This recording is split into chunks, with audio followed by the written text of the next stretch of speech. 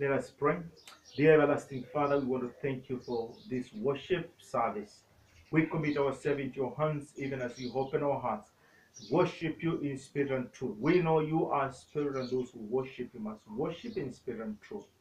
Lord God, guide us from the beginning to the end of this worship service. And may we receive grace and blessings even in fulfillment to your word. And in Jesus' name we pray. Amen. Let us worship the Lord with one song. I have found sweet rest. I have found sweet rest from my weary soul.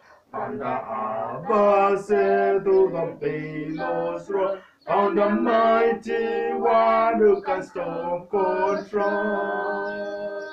Leaning on the everlasting hand. For the everlasting hands, so they hold me, ever hold me, and enfold me. I am saving life from death, all around and and near. At the mighty everlasting heart, when my way grows dark and no light I see. When my friends forsake and life comfort free, then I know His grace will sufficient be. On the everlasting hand, oh the everlasting arms, and they hold me, ever hold me, and enfold me. I am saving life for death, for around and and and near. At the mighty everlasting hand. When my faith is weak, it is near my side. When my heart grows faint, it will strength provide. When the dangers spreads and the seas divide, leaning on the everlasting hand. Oh, the everlasting arms of the me, ever hold me, and enfold me. I am safe in life or death, or around and and and near. The mighty everlasting hand, there is no too hard for my Lord to do. I can safely trust on the journey through. It will bear me up and my burdens too. Leaning on the everlasting hand. Oh, the everlasting arms have they hold me, ever hold me, and enfold me. I am safe in life or death, for around and and and. At the mighty everlasting hand. Hallelujah. Today's message as the title, Let it be to you according to your faith.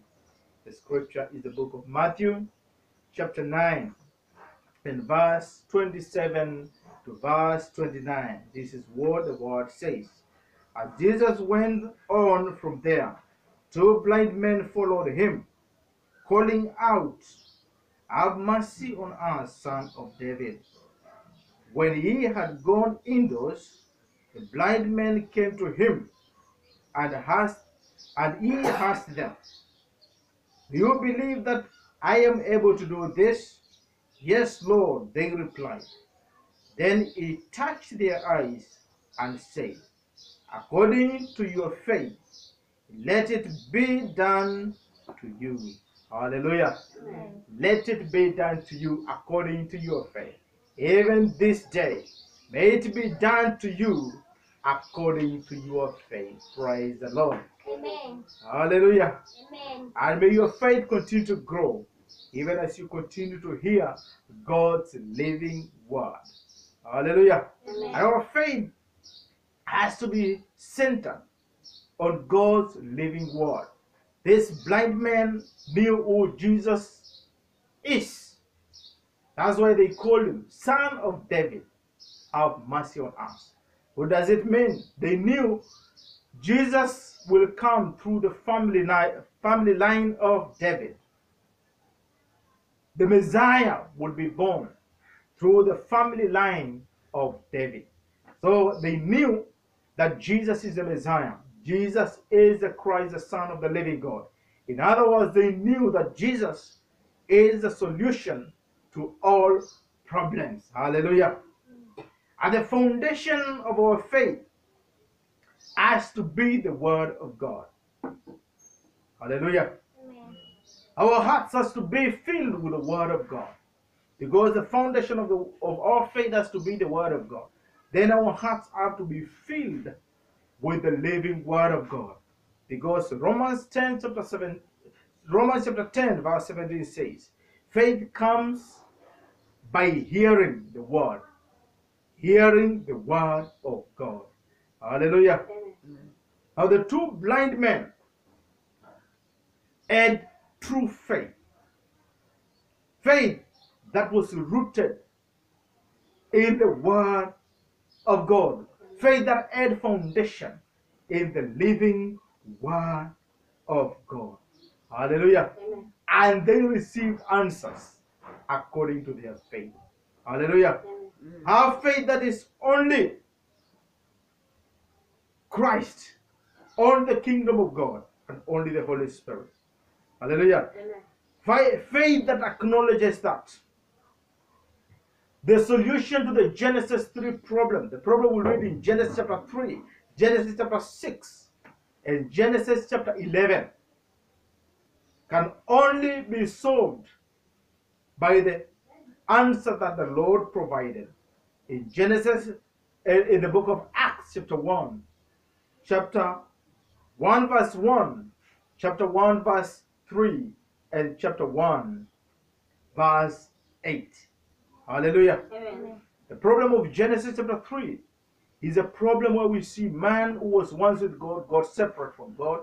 He became a sinner and fell in the hands of the devil. Man became self centered. To solve that self centered problem, the only solution is Christ, as we read in Acts chapter 1, verse 1, that Jesus is the Christ, the Son of the living God. He is the only way to meet God, He's the only way to wash away people's sins, and He is the only way to destroy Satan and Satan's work. Hallelujah. Amen. When the people became separate from God, they fell in sin and under the control of the devil, the prince of the air. They became material centered, as we can read Genesis chapter 6. They became material centered. They just became flesh. Instead of being centered on things pertaining the kingdom of God, they became worldly, centered on things of this world. God wants us to live centered on the kingdom of God. As we read Acts chapter 1, verse 3, Jesus talked about the kingdom of God for a period of 40 days. And even today, He expects us to live for the sake of the kingdom of God. Hallelujah. Now, people who became self centered, material centered, again, they fell into success centered ideology. They thought they can be they can be successful. They can have development. They can have civilization without God, as we read in Genesis chapter 11. Genesis chapter 11, in the Tower of Babel. They say, Let us build a tower that reaches all the way to heaven, and let us make a name for ourselves.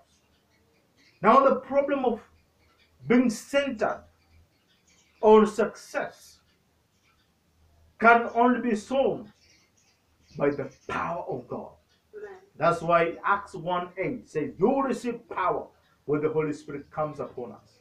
You will be my witnesses in Jerusalem, Judea, Samaria, to the ends of the earth. Amen. People who live centered on themselves, on their own success, will sooner or later crumble like the Tower of Babel. But when we live centered on Christ, God's kingdom, and trusting the filling, working, and the guidance of the Holy Spirit, we'll have evidences. We'll receive evidences every day, and we will be true witnesses of the Lord to the ends of the earth. Amen. Hallelujah. Amen.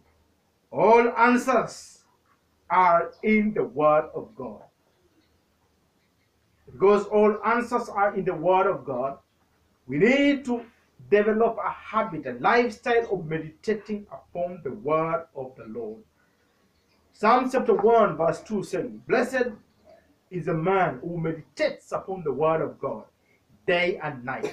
Such a man will be like a tree planted by the streams of waters. We read Psalm chapter 1, verse 3.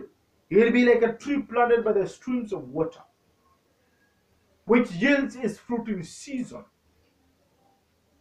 His leaf does not wither, whatever he does prospers. Amen. Hallelujah. Amen. May we live our lives centered on the living word of God. Hallelujah. Amen. And what God says is always the final command, not the condition of your body, not the condition of the environment around you. What God says in His Word, its final command. Let us believe it. Let our faith be rooted, be established on the Word of the Lord. And it will be to you according to your faith. Hallelujah. Amen. Once you receive what God has said, you become capable of subduing every other contrary opinion. There are contrary opinions all around us, things that speak against the living word of God. But receive what the Lord is saying, believe in it, and let it be to you according to the word of the Lord. Amen. Hallelujah. Amen. In Luke chapter 1, verse 7, read of Elizabeth, who was very old. But what God said prevailed over age barriers. Hallelujah. Amen. Even upon your situation. What God says is superior